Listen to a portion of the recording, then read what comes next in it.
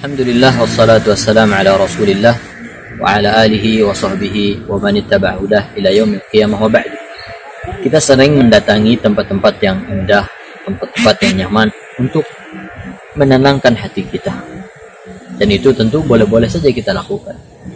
Tapi ketahuilah tidak ada sesuatu yang bisa menenangkan hati kita melebihi berzikir kepada Allah Azza melebihi beribadah kepada Allah Taala.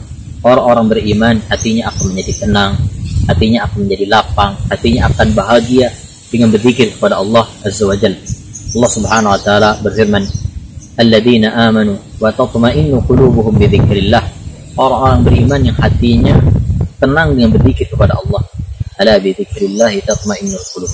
Ketahuilah, dengan berzikir kepada Allah, hati akan menjadi tenang. Seorang penyair mengatakan, "Bidzikrillah tartahul qulub wa dunyana bidzikrahu tatibu." Berzikir kepada Allah bisa menenangkan hati dan dunia kita tidak akan baik. Dunia kita akan menjadi baik dengan berzikir kepada Allah Subhanahu wa taala. Maka tenangkan hati kita dengan berzikir kepada Allah terutama ketika kita rasakan hati kita sudah galau, hati kita mungkin sudah merasa sempit, maka dekatkan hati kita kepada Allah Subhanahu wa taala. Basahi lisan kita dengan berzikir kepada Allah, perbanyak zikir kepada Allah Azza wa Jalla. Maka bismillah kita akan mendapatkan ketenangan melebihi ketenangan yang kita dapatkan dengan menikmati pemandangan atau dengan menikmati apa saja yang kita inginkan. Wassalamualaikum warahmatullahi wabarakatuh.